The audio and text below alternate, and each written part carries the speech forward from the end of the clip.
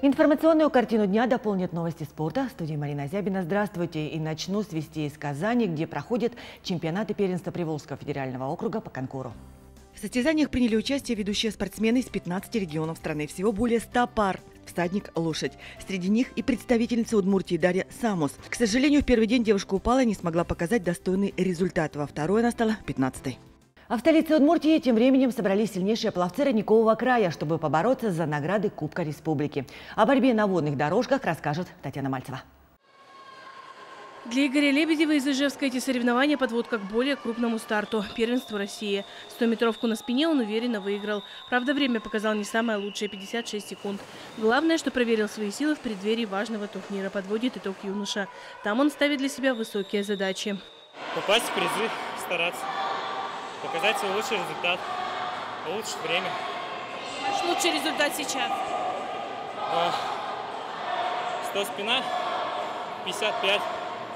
Сейчас проплыл 56, тоже очень хорошо. Помимо первенства России среди юниоров, впереди у участников Кубок страны, куда тоже отбираются спортсмены на этих республиканских соревнованиях. Конкуренция на водных дорожках серьезная.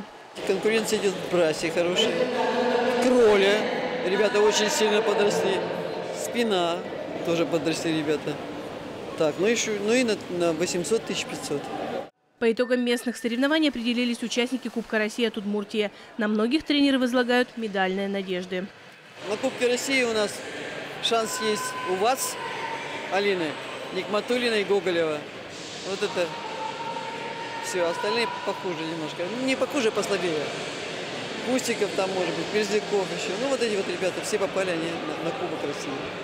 Первенство страны пройдет в Пензе с 12 по 15 июля, а Кубок России 18 июля в Подмосковье.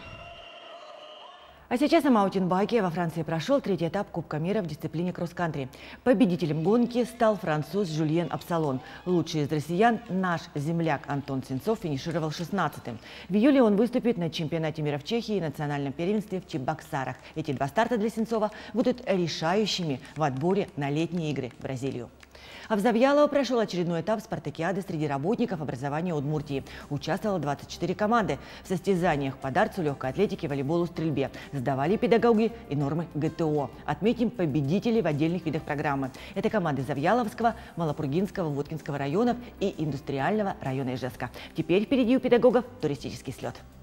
Теперь переместимся в спортзал 4 Ижевской спортшколы, где усердно постигают азы боевого самбо, дисциплины для себя относительно новой сельские ребята. Со временем они будут презентовать этот вид у себя в сельских районах. А пока каждодневные усердные тренировки под руководством опытных наставников, которые заинтересованы в продвижении боевого самбо в Удмуртии.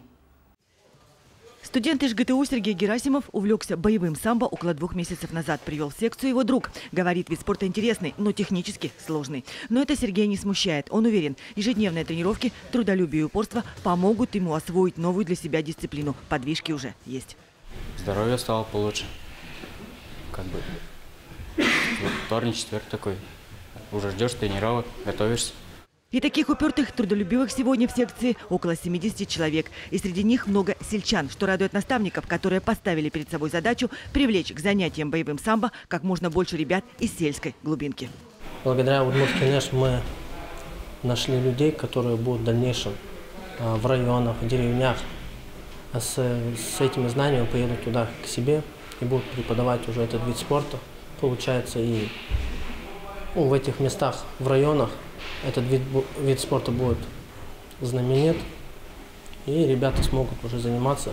В ходе тренировочного процесса очень ярко выделяется у них такая черта, что они очень работоспособны, выносливые, они готовы к самым трудным задачам и подходят к этому с полной отдачей, что это очень сильно удивляет. И, конечно, это приносит нам радость и э, заставляет нас работать с ними все упорнее и упорнее. Герасимов после окончания вуза намерен вернуться домой. Он родом из деревни Позял Можгинского района. И развивать у себя в деревне это спортивное направление. У нас там вот есть школа, есть зал, но нету как бы тренеров хороших. Нету таких кружков спортивных. Вот есть в дальнейшем желание обучать детей этому виду спорта. А пока сельчане на тренировочном татами себя не щадят. Сейчас традиционный анонс выходных. В субботу на стадионе «Динамо» пройдет спартакиада медицинских работников Удмуртии, начало в 11. В это же время в Сараполе будут разыграны награды четвертого этапа Кубка России по BMX спорту. А в 12.30 на биатлонном комплексе выявят сильнейших участники открытого чемпионата Удмуртии по триатлону. Начало соревнований в 12.30.